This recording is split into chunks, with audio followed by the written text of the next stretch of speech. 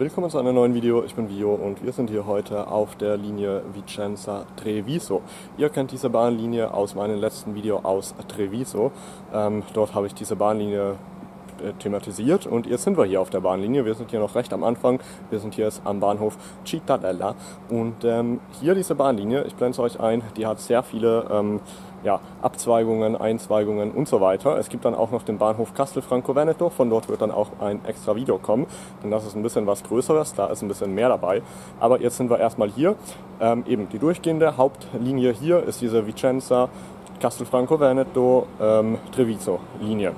Die führt dann ab Treviso weiter und äh, dort geht es dann eben Richtung Udine auf die Ponte Bana und Richtung Österreich oder runter Richtung Venedig und Trieste. Hier hinter mir haben wir jetzt einfahrend einen Regionalzug aus Bassano del Grappa. Aus Bassano del Grappa zweigen auch zwei Linien ab. Eine, die führt direkt nach Castelfranco Veneto und eine, die führt direkt hierher, also Cittadella, und dann weiter auf eine andere Linie, welche in Castelfranco Veneto abzweigt und runter nach Padova fährt. Heißt, der Regio fährt jetzt Bassano del Grappa, Padova, aber nicht über Castelfranco Veneto. Die Bremsen sind immer noch so laut von den Scheißrock nicht über Castelfranco Veneto, sondern über Campo San Piero und hier über Cittadella. Das zeige ich euch alles noch ein bisschen. Auf jeden Fall, das war jetzt der Regio. Eben das ist jetzt ein Rock und der fährt von Bassano del Grappa nach Padova. Und ähm, ihr seht schon, hier ist auch Güterverkehr. Der Güterverkehr ist von der Linie Vicenza-Treviso. Es ist rein theoretisch eine zweigleisige Bahnstrecke und ähm, ich weiß jetzt nicht, worauf die Güterzüge hier alle warten. Wir haben hier drei Güterzüge in dem Bahnhof wartend. Hier auf Gleis äh, 5 steht noch einer. Hier, ähm, ja, gucken wir mal, was passiert. Also ich weiß, ich kenne den, äh, den Linienplan jetzt nicht so gut. Dementsprechend weiß ich jetzt nicht, was der Regionalzug aus Bassano del Grappa, da ist Ende, da gibt es dann noch die Bahnlinie nach ähm, Trento übers äh, Val Sugana, da waren wir auch schon ein paar Mal, aber da ist kein Güterverkehr. Dementsprechend weiß ich jetzt nicht, die rangieren. Ah, deshalb ist da auch eine Rangierlok dran. Ähm, denn wir haben hier auch ein Güterterminal. Das erklärt einiges. Gut, dann lassen wir die Diskussion. Hier ist ein Güterterminal. Ähm, ich denke, die Rangierlok müsste von InRail sein, aber das gucken wir danach.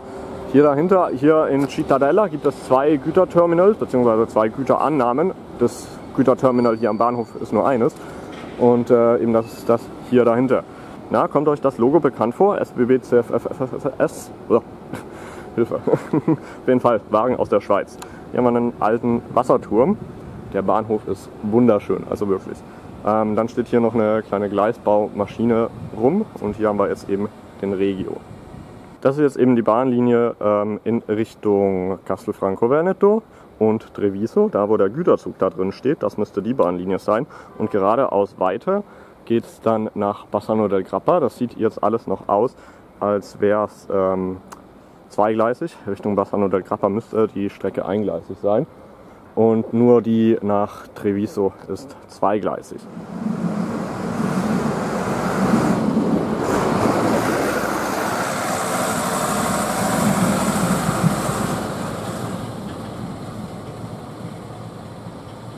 So, jetzt bin ich mal gespannt. Also, wie gesagt, so gut kenne ich mich hier nicht aus. Ich bin hier einmal durchgefahren, als ich das letzte Mal in Treviso war. Da bin ich nämlich mit einem Regionalzug von Treviso nach Vicenza ähm, zurückgefahren. Und äh, dann bin ich hier durch den Bahnhof und habe mir hab gesehen, wow, Güter. Und dann dachte ich mir, hier muss ich ein Video machen. Ähm, das war ein Diesel, ein Dieseltriebwagen. Also auf der Bahnlinie Vicenza äh, Treviso fahren Dieselzüge auf einer voll elektrifizierten, ja, ich weiß auch nicht, was das soll.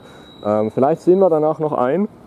Auf jeden Fall wird das spannend. So, der Oberleitungsrichtwagen wechselt auf die Bahnlinie nach Bassano. Und wir wechseln jetzt mal kurz die Bahnhofseite, damit ich euch den, die Loks von den anderen beiden Güterzügen noch zeigen kann. So, hier erleben wir es jetzt. Der Güterzug wurde, ja gut, das verstehe ich jetzt nicht. Der Güterzug wurde von dem Güterzug weggepult und jetzt kommt er wieder dran. Oder hat er jetzt einen anderen Wagenpark geholt, der hier dran muss? Das kann natürlich auch sein, ich habe es jetzt nicht gesehen, aber... Nee, nee, nee. So schnell ging das nicht, warte mal. so schnell holt man keinen neuen Güterpark. Ähm, ja, ich glaube, die sind jetzt wirklich weg von dem Güterzug und wieder ran. Aber keine Ahnung, wie die das gemacht haben. Auf jeden Fall, ähm, italienische alte Bahnhöfe. Ein Thema, welches mir sehr gut gefällt. Guckt euch das mal an. Allein wie breit das hier ist. Einfach wunderschön. Jetzt kann es natürlich sein, dass diese Güterzüge hier ähm, stehen und alles blockieren, weil, was heißt alles blockieren, wir haben immer noch ein Gleis frei, ähm, weil die hier warten, bis die eben entladen und beladen werden. Das ist sogar eine offizielle Merci Italia Rail Shunting Lokomotive. Ähm, so eine habe ich, glaube ich, noch nie gesehen. Ähm, weil in Verona wird immer die von RTC Rail Traction Company verwendet. Und ansonsten habe ich, nee, ich glaube so eine habe ich noch nie gesehen. So, jetzt bin ich mal gespannt, was die hier machen. Und zwar hier dahinter. Ich habe jetzt nur nicht gesehen, ob die jetzt vom anderen Zug runter ist oder aus dem Depot rauskommt. Ich denke mal aus dem Depot raus, weil die sieht danach aus, als würde die sich hier vor diesem Güterzug. Ähm, ich verstehe gerade die Welt nicht mehr, ne? Also, da dahinter stehen nochmal Güter. Ah, okay. Ne. Dahinter stehen nochmal Güter. Die habe ich vorhin nicht gesehen, da weiß ich nicht, woher die kommen. Und, ähm, und jetzt kommen hier Wagen weg oder Wagen hinzu. Gucken wir mal. Also ich denke einfach, die kommen hier mit Zügen an, welche hier dann einfach teilweise Wagen entfernt bekommen, die hier dann untergestellt werden oder auf anderen Güterzügen draufkommen. Neue Güterzüge werden ähm, geladen. Ich finde die Lackierung schön.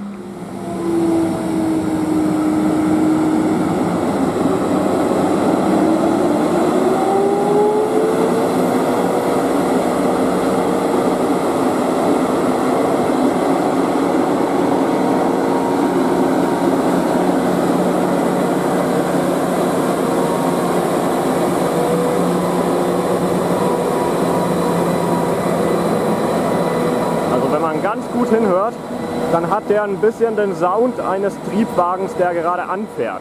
Aber ohne ein bisschen. So, das sind von der Baureihenbezeichnung her die gleichen, die RTC in Verona Porta Vescovo verwendet, also in Verona zum Rumrangieren.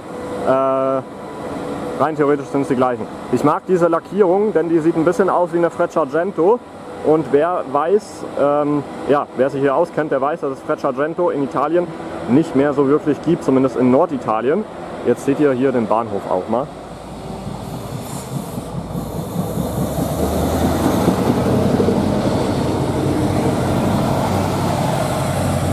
So, hier habt ihr das.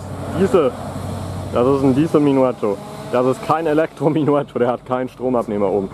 Der fährt jetzt von Vicenza nach Treviso. Regionalzug.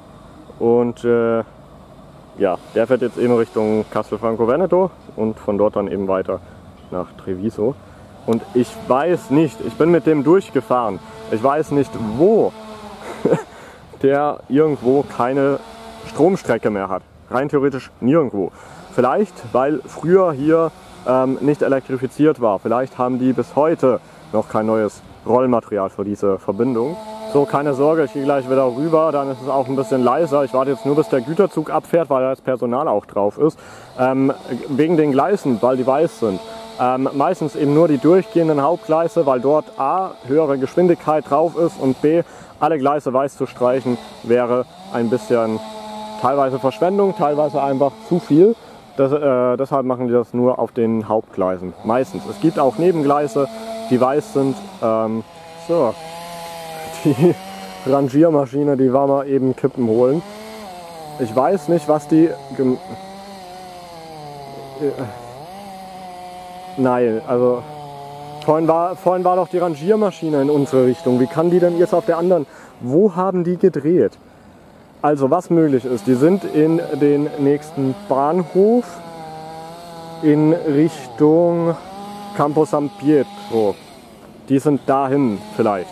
Das ist, könnte man in der Zeit schaffen. Haben dort gedreht weil auf offener Strecke wüsste ich jetzt keinen Bahnhof, der mehrgleisig ist. Die sind alle nur zweigleisig ohne ähm, Wendemöglichkeit für die Maschine. Dementsprechend weiß ich jetzt nicht genau, wo die das wann wie gemacht haben. Aber naja, ähm, warum machen die das? Da dahinter sind auch noch Gleiche. Mama, warum machen die das? Da dahinter sind auch noch Gleise. Ähm, die sind über die Gleise hier nicht befahrbar. Anscheinend über die Gleisweiche ähm, dahinter auch nicht. Dementsprechend müssen die einmal hier runter. Dann verstehe ich auch, warum die die, ähm, die Rangiermaschine gewechselt haben, denn die darf nicht gefangen bleiben. Die muss danach ja noch Action machen, die muss danach ja noch weiterarbeiten und sonst wäre die gefangen, wenn die nur in diese Richtung raus kann und dann eben hier am Güterzug sitzen würde. Dementsprechend sitzt sie jetzt am anderen Ende. Ich weiß nicht, also sie kann bis nach Vicenza gefahren sein, dort das Manöver gemacht haben, wobei ich nicht wüsste wo, beziehungsweise bis die mal da sind und dann hinten am Scalo, keine Ahnung. Ähm, vielleicht haben die auch nur gewartet, bis der Regionalzug durch ist. Es kann sein, dass die auf die offene Strecke sind, dass es da eine Wendemöglichkeit gibt, die ich nicht auf dem Schirm habe. Und dass die einfach gewartet haben, bis die Strecke clean ist und ähm, das jetzt so machen. Das wäre für mich aber ein bisschen, also ich hätte das noch nie gesehen, dass außerhalb eines Bahnhofes so rangiert wird ähm, auf offener Strecke. Aber du, es ist möglich, wir sind hier in Italien. Jetzt verstehe ich auch, warum der Güterzug hinter uns immer noch wartet, eben weil der hier ja seinen Weg kreuzt. Das ist jetzt spannend. Ich würde gern wissen, wo der, wo der sich gedreht hat. So, gerade die Kamera runtergestellt. In dem Moment höre ich sie losfahren. Endlich fährt sie. Jetzt gehen wir dann auch rüber.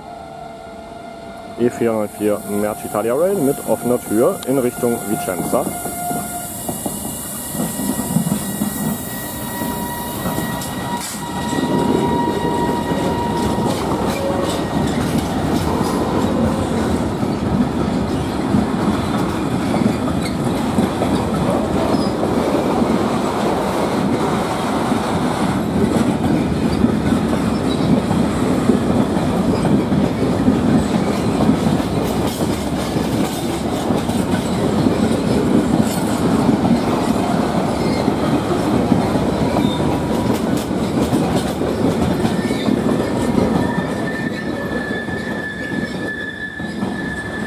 Und jetzt sieht man noch mal, er fährt rechts rüber. Jetzt weiß ich aber nicht mehr genau, von wo die ähm, Rangiermaschine kam, aber ich glaube, die kam auch eher von rechts. Denn nach rechts geht es Richtung Vicenza und links Richtung äh, Padova über Campo San Piero. So, äh, ich bin jetzt zwei Stationen weiter. Richtung äh, Castelfranco Veneto, beziehungsweise eine Station vor Castelfranco Veneto. Äh, ja, und jetzt rollt's. Jetzt haben wir es halb eins circa. Ähm, hier fahren alles nur diese Diesel-Regios. Es fahren plötzlich auf beiden Gleisen Züge durch. Ich bin ausgestiegen, habe hinter mich geschaut, hinter den Zug und sah dort schon in der Ferne ähm, ja, Lichter. Und dachte ich mir schon, hä, da wird doch was kommen. Äh, jetzt bin ich schnell auf dieses Gleis, aber so muss man nur hoffen, dass der Zug hier schneller da ist. Ähm, ja. Der sieht aber nicht gerade schnell aus. Ihr seht ja gar nichts. Der sieht aber nicht gerade schnell aus. Dementsprechend müssen wir hoffen. So, und ihr seht unter dem Signal ein Fahrtrichtungsanzeiger. Es wundert mich nur für was, weil hier gibt es ja nicht so viele Richtungen, beziehungsweise ja, ähm, dann im Bahnhof drin die Abzweigung, aber gut. Hinten habt ihr gesehen einen Bahnübergang, der ist jetzt wieder offen. Ist ja auch recht praktisch.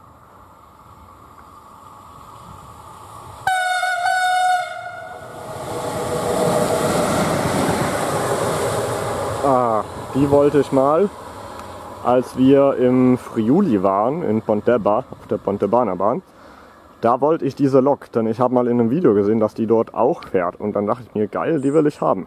Oceano Gate äh, Vectron. Also ich saß vorhin im Regio diese 10 Minuten und auch am Bahnhof vorhin und dachte mir, ey, es kommt die ganze Zeit nichts, seitdem ich hier bin. Eineinhalb Stunden nichts. Fast zwei Stunden. Schlimm, schlimm, schlimm. Dann dachte ich mir auch so, ey, was wird denn das? Ob sich hier lohnt, nochmal auszusteigen.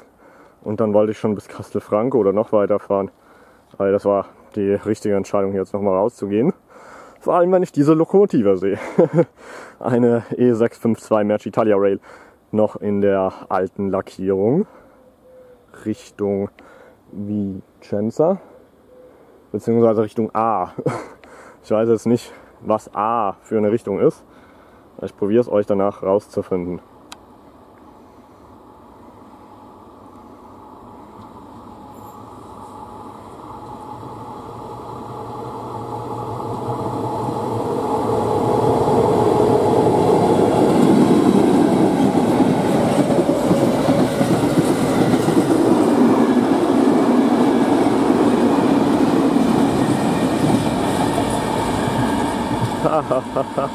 Geil. Ah. So, jetzt habe ich wieder gute Laune. Also ich vermute, die werden, obwohl wenn A steht, dann denke ich nicht, dass die in Cittadella äh, Halt machen, um die Diesellok zu entkuppeln. Ähm, naja, mal gucken.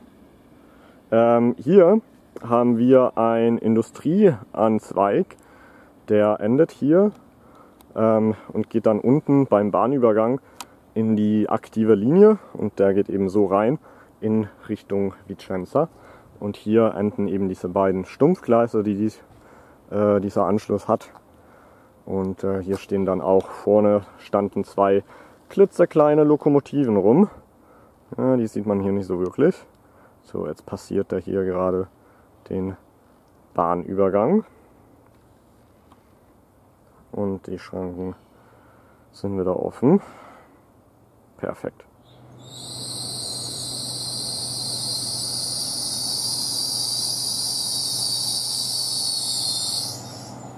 So, hier habt ihr den Beweis. Es braucht den Diesel nicht auf dieser Linie.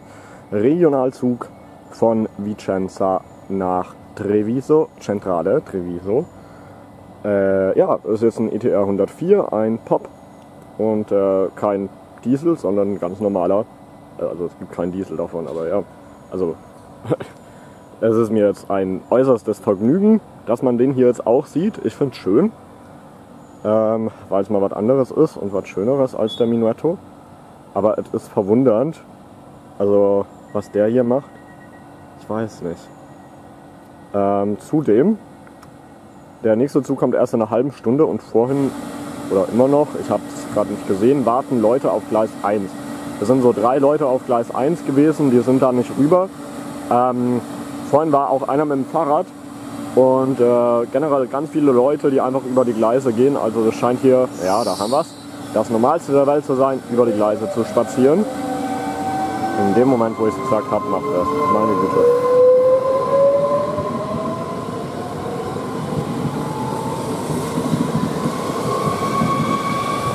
Vorhin, als ich ankam, war ich übrigens auch an der letzten Tür und dann habe ich einen beobachtet, der halt ausgestiegen ist und nicht in Richtung äh, Unterführung ging, sondern eben hinter den Zug und dann hinter den Zug die Gleise überschritt und dann hierher ist. Also das ist hier, meine Güte, nicht gut. So, jetzt eben, ja, von hier aus sieht man es nicht so gut, aber wir können mal gucken ob wir dann Lichter sehen von einem Zug, der potenziell hinter diesem Regio sein könnte, aber bis jetzt sehe ich noch gar nichts. So, nach etwas Gewarte kam dann doch eine Durchsage. Gleis 2 heißt hinter dem Regio. Jetzt wundert es mich umso mehr, wenn hier dann doch so guter Verkehr ist. Also viel ist es nicht, aber ne, es ist nicht nichts. ähm, warum dann vorhin? Wahrscheinlich wirklich nur, weil es Mittag war. Ähm, ja, ich weiß nicht. Also Italien hat irgendwas mit zwischen 10, 11, 12 Uhr Güterzüge fahren zu lassen. So, ich glaube, das ist einer von der TXL oder von Locomotion mit dieser Atlu. Aber ich glaube, das ist TXL.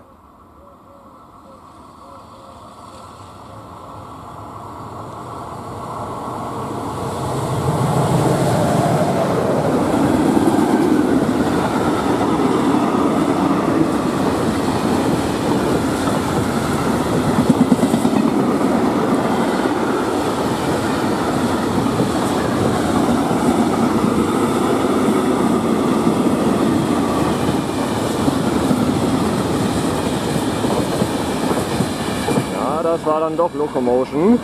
Vorne die sich noch im Atlu-Design befindende Vectron und hinten dran eine 189. Die Lokomotiven haben wir auch auf dem Brenner. Sehr schön. Den Zug äh, an sich haben wir nicht am Brenner, aber der ist auch mal wieder länger. Also hier muss man gucken, dass man längere Züge hat, eben zwei Lokomotiven sogar. Der könnte jetzt sogar über die Pontebana bis nach Österreich rauskommen oder er fährt halt an irgendeinen Hafen.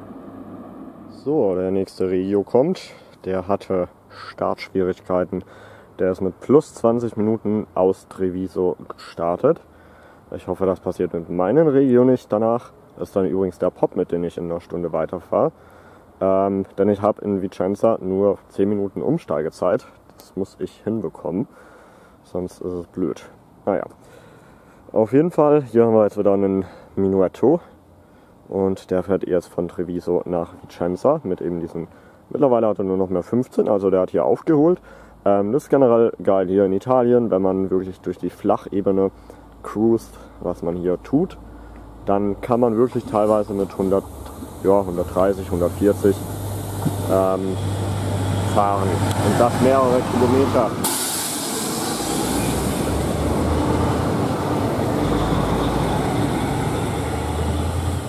Übrigens konnte ich nicht herausfinden, für was dieses A am Zielanzeiger ist. Es gibt keine folgende Ortschaft mit A es gibt nach Vicenza, also nach dem Bahnhof, wo sich die Linie einfädelt, einen Bahnhof mit A. Aber ich glaube nicht. Ich glaube, da ist irgendeine Bezeichnung, keine Ahnung. Also es muss damit zusammenhängen, dass wir im Folgebahnhof, beziehungsweise es ist noch eine Haltestelle dazwischen und im Bahnhof danach, äh, Cittadella, wo wir ja waren, diese Auseinandergehung dieser Linie ist. Es ist dann weder Padova, das Ende der nächsten Linie, noch Campo San Piero, also C. Das ist es auch nicht. Also ich weiß nicht, was da, was da abgeht. Ähm, bei den kleinen Bahnhöfen wundert es mich immer.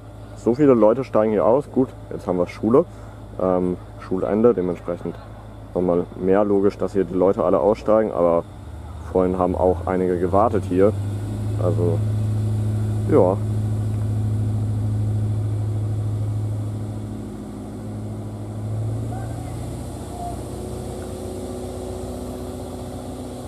Das Tolle an Züge mit Verspätung. Ähm, in Italien sind die Züge sehr anfällig, ähm, lange an Bahnhöfen zu stehen, wenn sie planmäßig sind. Ich weiß nicht, woran das genau liegt, aber mich nervt es immer als Fahrender. Und ähm, wenn die Verspätung haben, das merkt man immer bei uns am Regionalexpress auf der Brennerbahn, da geben die immer ordentlich Gas und die bleiben oft nicht mehr als 20 Sekunden stehen. So, kurz vor meinem Regio haben wir hier noch eine Zugdurchfahrt. Also mein Regio kommt so aus der anderen Richtung, aber trotzdem. Sehr schön. E412 Mercitalia Rail in der neuen Lackierung.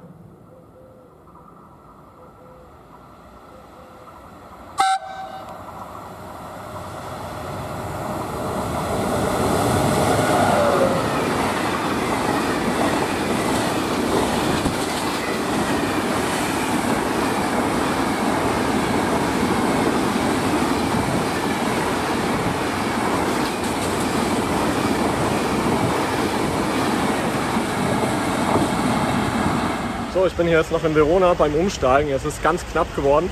Ähm, aber ich habe hier noch einen Zug gefunden und zwar den Orient Express. Der fährt jetzt aktuell immer über Chiasso, also nicht mehr über den Brenner, dementsprechend sehen wir ihn nicht mehr.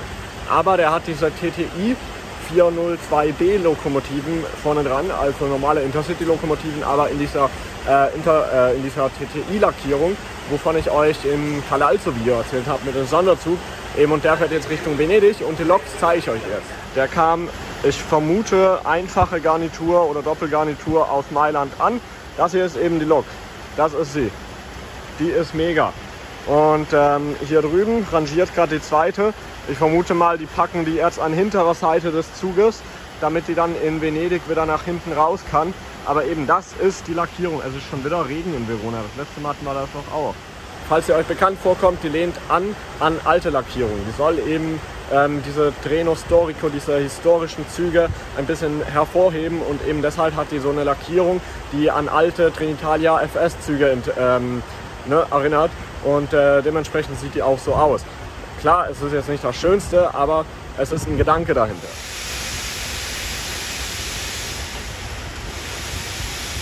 So, jetzt ist gerade die Fretscher neben uns ein bisschen laut. Oder was auch immer das ist. Und jetzt wird hier eben rangiert. Wow.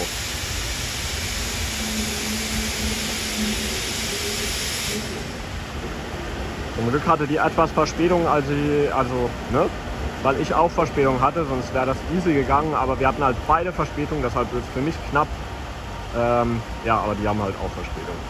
So, ran geht's an die hintere Seite. Das werde ich jetzt nicht alles mitfilmen können. Die Abfahrt, wenn sie so langsam weitermachen, werde ich auch nicht mehr mitbekommen. So, jetzt habe ich noch mal kurz Zeit. Meine Güte. Neu lackiert sieht man auch. Hier vorne haben wir es dann drauf, das Logo Treni Turistici Italiani. Wird aber trotzdem noch vor Trenitalia Services gehangen. Denn der Orient Express ist aktuell noch Trenitalia. Und somit würde ich sagen, vielen Dank fürs Zusehen. Wir sehen uns dann beim nächsten Mal wieder. Bis dann, macht's gut und ciao.